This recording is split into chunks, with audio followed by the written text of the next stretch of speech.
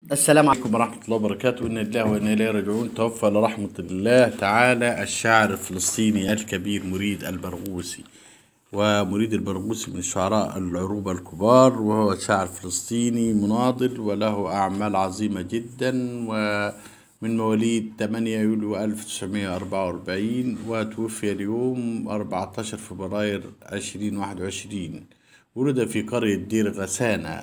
قرب رام في الضفة الغربية وتلقى تعليمه في مدرسة رام الله الثانوية وسافر إلى مصر العام 1963 حيث التحق بجامعة القاهرة وتخرج في قسم اللغة العربية وآدابها العام 1967 وهو العام الذي احتلت فيه إسرائيل الضفة الغربية ومنعت الفلسطينيين الذين تصادف وجودهم خارج البلاد من العودة إليها. وعن هذا الموضوع كتب مريد البرغوثي في كتابه الذائع الذائع الصيت رأيت رام الله. في الحصول على شهادة تخرجي وفش... نجحت في الحصول على شهادة تخرجي وفشلت في العثور على حائط أعلق عليه شهادتي ولم يتمكن من العودة إلى مدينته رام الله إلا بعد ذلك بثلاثين عاما. من التنقل بين المنافذ العربية والأوروبية وهي التجربة التي صغى في سيرته الروائية تلك. ولد مريد البرغوثي في 8 يوليو تموز عام 1994 في قرية دير غسانة قرب رام الله في الضفة الغربية وتلقى تعليمه في مدرسة رام الله الثانوية وسافر إلى مصر عام 1973 وتزوج من الروائية المصرية الراحلة رضوى عاشور في 26 مايو 1946 حتى 30 نوفمبر 2014 وهو أستاذ الأدب الإنجليزي بجامعة عين شمس بالقاهرة ولهما ولد واحد وهو الشاعر والأكاديمي تميم البرغوثي ديوان البرغوثي نشر ديوانه الأول عن دار العودة في بيروت عام 1972 بعنوان الطوفان وإعادة التكوين ونشر أحدث دواوينه عن دار رياض الرئيس في بيروت بعنوان منتصف الليل عام 2005 وأصدرت له المؤسسة العربية للدراسات والنشر مجلد الأعمال الشعرية الكاملة عام 1997 وفي أواخر الستينات تعرف على الرسام الفلسطيني الراحل ناجي العلي واستمر صداقته استمرت صداقتهما العميقة بعد ذلك حتى اغتيال العلي في لندن عام 1987 وقد كتب عن شجاعة ناجي, ناجي وعن استشهاده بإسهاب في كتابه رأيت رام الله ورثاه شعرا بعد زيارة قبره قرب لندن بقصيدة أخذ عنوانها من إحدى رسومات ناجي. أكله الذئب في بيروت تعرف على غسان كنفاني الذي اغتاله الإسرائيليون عام 1972 عرف مريد بدفاعه عن الدور المستقل للمثقف واحتفظ دائما بمسافة بينه وبين المؤسسة الرسمية ثقافيا وسياسيا. وهو أحد منتقدي اتفاقات أوسلو. سجنته السلطات المصرية وقامت بترحيله عام 1977 ثم أسر زيارة الرئيس المصري الراحل محمد أنور السادات لإسرائيل وظل ممنوعا من العودة لمدة 17 عاما وكان أول ديوان نشره بعد طرده من مصر هو ديوان الأكثر شهرة قصائد الرصيف عام 1980 حصل مريد البرغوثي على جائزة فلسطين في الشعر العام 2000 وفي كلمته التي ألقاها باسم الفائزين في كل فروعها يوم استلام الجائزة في قصر الثقافة برام الله انتقد السلطة الفلسطينية بحضور قيادتها في القاعة.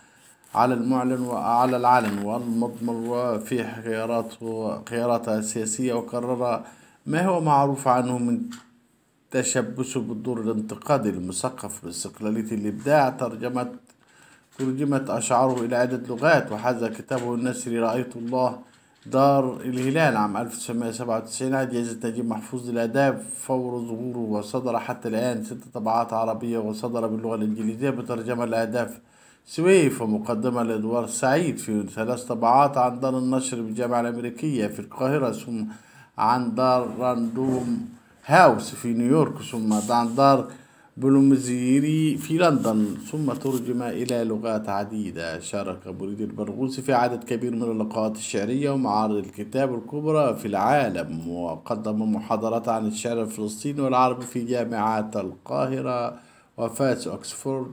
ومانشستر وأوسلو ومدريد وغيرها. وتم اختياره رئيسا للجنة تحكيم جائزة الرواية العربية عام 2015 وكان يهتم البرغوثي في قصيدة بالمشترك الإنساني مما يجعل شعره بالغ التأثير في قارئه أيا كانت جنسيته ويكتب بلغة حسية مادية ملموسة ويعمل على ما يسميه تبرير اللغة أي إبعادها عن البطولية والطنين وتخلق قصيدته من التهويمات والهذيان وهذا ما ساهم في توسيع دائرة قراءه في العالم.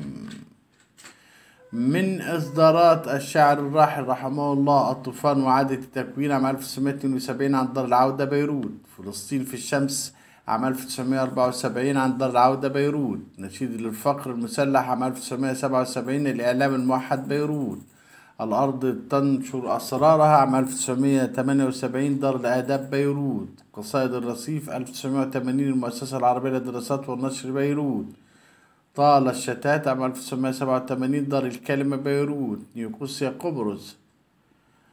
رنة الإبرة ومنطق الكائنات وليلة مجنونة والناس في ليلهم وزهر الرمان ومنتصف الليل ومجلد الأعمال الشهرية عام 1997 والأعمال الشهرية الكاملة عام 2013 والأعمال الشهرية الكاملة عن دار الشروق القاهرة واستيقظ حتى تحلم عام 2018 عن دار رياض الرئيس الكتاب والنشر والكتب والنشر بيروت.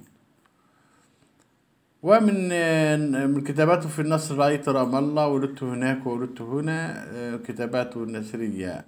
وتم الإعلان عن وفاته في الرابع عشر من فبراير عام ألفين واحد وعشرين ميلاديا الموافق اتنين رجب ألف اتنين ألف وأربعمائة اتنين وأربعين هجريا عن عمر الناس سبعة وستين عاما حيث كان قد نشر ابنه تميم عبر حسابه في موقع فيسبوك مريد البرغوثي. كما غير صورة حسابه للون الأسود. إنا لله وإنا إليه راجعون والبقاء لله.